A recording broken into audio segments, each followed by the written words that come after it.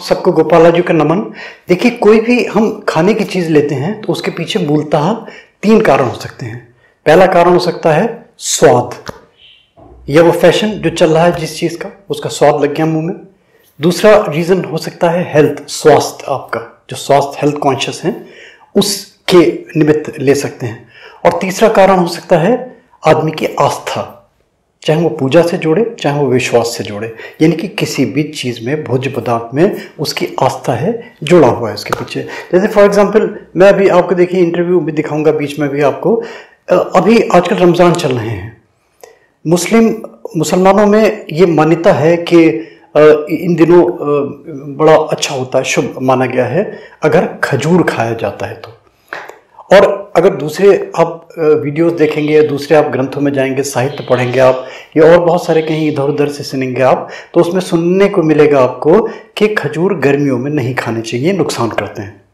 अलग अलग मान्यताएँ अलग अलग लोगों की विचारधारा है तो ये जो बड़ा एक इंपॉर्टेंट ये जो खजूर डेट आप देखिए आपको मैं इसका वीडियो दिखाता हूँ आपको। ये फिनिक्स डेक्टाइल फेरा इसका नाम बड़ा अजीब सा डेट कहलाता है ये। खजूर कहलाता है और खजूर में भी दो वैरायटी एक खजूर जो ड्राई फॉर्म में होता है, फिर वही आपका छुआरा बन जाता है और दूसरा होता है पिंड खजूर, जो सॉफ्ट सा होता है, हल्का सा मुलायम सा होता है। मैं खाता हूँ, देखिए ये ये खजूर ये वाला होता है है ना? हम इस वाले खजूर की बात कर रहे हैं। इसको पिंड खजूर बोलते हैं सामान्यतः। ये आ, सर्दियों में तो बहुतायत मिलता है मगर गर्मियों में इन दिनों में रमज़ानों के दिनों में खूब मिलता है। तो मैंने पूछा एक दो मुसलमान भाइयों से उनके क्या इंटरव्यू थे बता रहे हैं वो आपको। देखिए इसका अगर मैंने बताया ना कि उन्होंने किसी ने आस्था से जोड़ा इसको हम इसको स्वास्थ्य से जोड़ते हैं हेल्थ से लेके जोड़ते हैं उसके कारण है बहुत सारे। अगर इस खजूर को देखा जाए डेट को देखा जाए तो इसमें दुनिया भर के मिनरल्स दुनिया भर के इसमें पौष्टिक तत्व, किस चीज़ की कमी है? आयरन है इसके अंदर विटामिन है इसके अंदर प्रोटीन है इसके अंदर फाइबर है इसके अंदर मिनरल्स हैं इसके अंदर। वो पोषक तत्व जो हम खाने से पूरे नहीं कर सकते या जो मेडिसिन से पूरा नहीं कर सकते, वो सारे के सारे तत्व इसके अंदर विद्वान विद्यमान हैं, इसके अंदर प्रेजेंट हैं खजूर के अंदर। और इसीलिए इस खजूर को खाने से तरह तरह के रोग चाहे आपके सर के लेके सर के बाल से लेके पैर के नाखून तक। बालों के लिए अच्छा है आँखों के लिए अच्छा है स्किन के लिए अच्छा है। जो स्किन जो ओल्ड एजेस में आप देखते हैं जो रैशेस आने लगती हैं जो रिंकल्स पड़ने लगती हैं चेहरे में ग्लेमर की कमी आने लगती है उसके लिए बड़ा अच्छा है ये। स्टमक डिसऑर्डर्स के लिए बड़ा अच्छा है। कार्डियक प्रॉब्लम है उसके लिए बड़ा अच्छा है। रीनर प्रॉब्लम है उसके लिए बड़ा अच्छा है। स्किन की प्रॉब्लम्स हैं उसके लिए बड़ा अच्छा है। कोई आपका आ, कोई बच्चों के लिए अगर आप देते हैं तो बच्चों की मेमोरी के लिए बड़ा अच्छा है ये। ब्रेन को बड़ा शार्प करता है ये। और स्टेमिना के लिए बहुत अच्छा माना गया है। जो जो रेसलर्स हैं या जो जो जिम के में जुड़े हुए हैं, जो एक्सरसाइज वगैरह करते हैं, उनको आप देखेंगे, पिंड खजूर खाते हैं वो। और सबसे बड़ी चीज़ इंस्टेंट एनर्जी के लिए बड़ा अच्छा है। आप एक या दो खजूर ऐसी खा लें। आप कितनी एग्जॉस्ट हैं, आपको लगने लगेगा कितनी फटीक हैं आप। आपको लगने लगेगा कि एक या दो या तीन खजूर खा के आपको बड़ी इंस्टेंट एनर्जी मिल गई। इतने सारे गुण इसके अंदर। अब सबसे बड़ी चीज़ क्या है? देखिए कि खजूर को खाएँ कैसे? क्या इसका तरीका है? पहले तो इसको गर्मियों में खाएँ या नहीं खाएँ? आजकल रमज़ान में आप देखेंगे, अगर गर्मियों में खाना मना होता तो फिर इतनी बिक्री नहीं होती इसकी। इसका मतलब ये मान्यता गलत है कि गर्मियों में खजूर नहीं खाया जाए। हाँ ये बात ज़रूर है एक्सेसिव कोई चीज़ ले रहे हैं और हर चीज़ की, अगर किसी भी चीज़ की कोई मात्रा एक लिमिट के बाहर जाते हैं तो नुकसान करेगी ही करेगी ऑब्वियसली कोई भी चीज़ एक्स जेड कुछ भी हो सकता है। तो देख के, संभाल के खाएँ। अच्छा इसका तरीका बताया गया है दूध के साथ सेवन करना, कि दूध में अगर रात में भिगो के रख दिया जाए और मॉर्निंग में इसको खाएँ तो ये परगेटिव का काम भी करता है। यानी कि इंटेस्टाइंस में जो मल जमा हो जाता है ड्राइनेस आ जाती है इंस्टेंट हमारे इंटेस्टाइंस में, उनको बहुत जल्दी ये ठीक करता है लुब्रिकेंट का काम करता है। फाइब्रस होता है बहुत, इसलिए।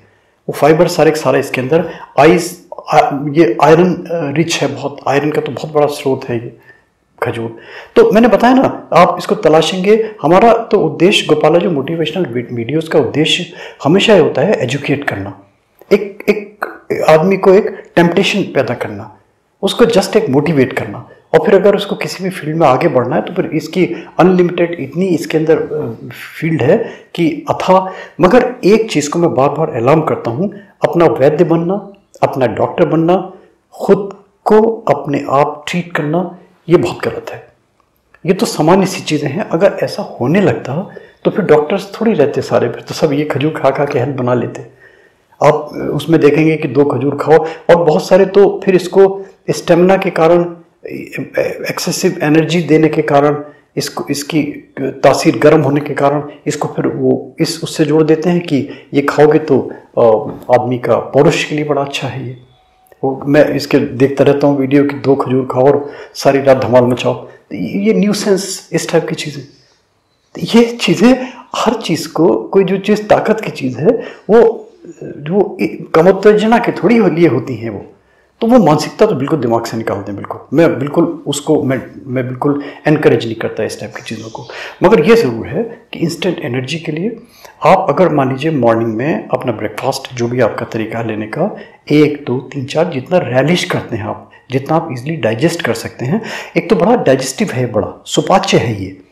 आप एक दो खाएँगे हैवीनेस नहीं लगेगी आपको।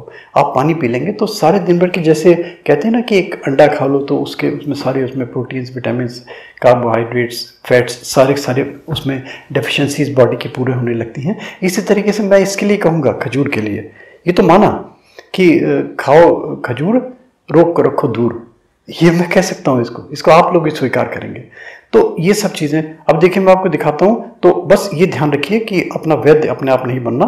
अगर आपको डॉक्टर, मान लीजिए जैसे किसी को शुगर है, डायबिटिक कंडीशंस हैं तो लोग तो कहते हैं उसमें खाओ, मगर फिर वो अपने फिजिशियंस की आप एडवाइस के बिना नहीं, आप आगे बढ़ें, अपने एक्सपर्ट जो भी आपके कंसल्टेंट्स हैं, उनकी एडवाइस लें, वो क्या सजेस्ट करते हैं आपको। प्रेगनेंसी में भी ये हार्मफुल हो सकता है तो प्रेग्नेंट लेडीज़ हैं फैमिली वे में हैं, वो बड़ी प्रिकॉशन लेके करें। देखिए कुछ मैं इंटरव्यू दिखाता हूँ कि कुछ लोगों ने इसको आस्था से जोड़ दिया। तो हमने बताया ना तीन चीज़ें। तो उसमें आप स्वाद के लिए ले रहे हैं आप उसको अपने हेल्थ कॉन्शियस हैं अपनी हेल्थ बूस्टअप करने के लिए ले रहे हैं और या फिर आप अपनी आस्था से ले रहे हैं। आस्था बना दी मुसलमान कम्युनिटी ने ठीक है बहुत अच्छी बात है हम उसको अप्रिशिएट कर देंगे। हम जैसे हमारे सनातन धर्म में आ, हम मान के चलते हैं कि हमारा एक जो नारियल है वो एक आस्था का प्रतीक है। हर पूजा के कर्म में हमारा नारियल को हम शुभ मानते हैं, उसका प्रसाद चढ़ाते हैं। इसी तरीके से एक कम्युनिटी में इसको प्रसाद माना जाता है। वो बहुत सारे लोग जो बेचारे रोज़ा अख्तियार करते हैं, बहुत गरीब से गरीब तबके में आप देख लीजिए, इससे अख्तियार करते हैं। देखिए, दो तीन मिनट रिव्यू सुनाता हूँ, आपको वीडियो इंटरेस्टिंग लगने लगेगा। और अगर अच्छा लगे तो गोपाला जी मोटिवेशनल वीडियोस को लाइक करें सब्सक्राइब करें फॉरवर्ड करें। एक नोटिफिकेशन बेल आती है छोटी सी, उसमें क्लिक कर देंगे तो रेगुलर हमारे अपडेट्स आपको मिलने रहेंगे थैंक यू दोस्तों thank you thanks for hearing Gopala ji. सुनिए, आप देखिए क्या आपको दिखाते हैं। बताओ कि हम देखते हैं कि पिंड खजूर का जो चलन है रमज़ान के दिनों में ज़्यादा बढ़ जाता है। तो अच्छा जो लोग डॉक्टर कहते हैं कहते हैं गर्मियों में पिंड खजूर नहीं खाना चाहिए। सही बात है ये? नहीं ये बात गलत है अंकल जी। पिंड खजूर इसलिए खानी चाहिए कि हमारे पैगंबर साहब थे उन्होंने इससे रोजा खोला पहले शुरू से। अच्छा अच्छा। तो इसलिए हमारे यहाँ सुन्नत है खजूर खजूर तो अगर आप बारह बारह दूध में पका खाएँगे तो आपकी बहुत बीमारी दूर होगी। तो इसका मतलब इसको धर्म से भी जोड़ते हो आप? हाँ इसको धर्म से पहले धर्म से जोड़ते हो। जो चीज़ धर्म से जुड़ गई उसमें हमारे यहाँ सिफा सिफा यानी कि फ़ायदा ही फ़ायदा। अच्छा। उसमें इलाज में फ़ायदा और दुनिया में फ़ायदा। तो वैसे इसकी खासियत तो है खासियत बहुत है तो खासियत तो इसकी इसकी ठंडी गर्म से कोई ताल्लुक नहीं। किसी मौसम में आप बारह बारह दूध में पका खाओ से अच्छा। तो आपको फ़ायदा देगी। क्या आप किस तरह खाते हो? जैसे आप तो वैसे खाते थे रोजा खोलते थे सुखी उठाई अब खाली उठा के? अच्छा अपने साफ़ करी हाँ, खाली। तो ये जो बाज़ार में आ रही है जी जी। ये तो स्टोर नहीं है कोल्ड स्टोरेज की नहीं है कोल्ड स्टोरेज तो कोई चीज़ होती है इसमें कोल्ड स्टोरेज होती है इसमें तो। अच्छा। इसे आप रखो नॉर्मल रहती है। बारह एक साल तक लो कोई कीड़ा नहीं होगा कोई बीमारी नहीं होगी इसके अंदर कोई गंदी कीड़ी नहीं होगी। बस कीड़ से बचा कीड़ी ना उसके इससे नुकसान क्या है? नुकसान इससे कोई नुकसान नहीं। खजूर का कोई नुकसान नहीं जो डायबिटीज़ वाला है जिसको शुगर है अगर वो खा ले। इस बारे में तो कुछ कह सकते। वाले के बारे में तो कुछ कह बाकी वैसे कोई नुकसान नहीं इसका। अच्छा मगर जो आप इसको जोड़ते हो जी धर्म से जोड़ते धर्म से जोड़ते जी इसलिए इसको मानते हैं? हमारे यहाँ सुन्नत है खजूर खानी। अच्छा सुन्नत अगर किसी से कोई ऐसा आदमी गरीब है कुछ सुन्नत नहीं है मतलब हाँ। खजूर नहीं मिल पाती तो हाँ। पानी से खोल सकते।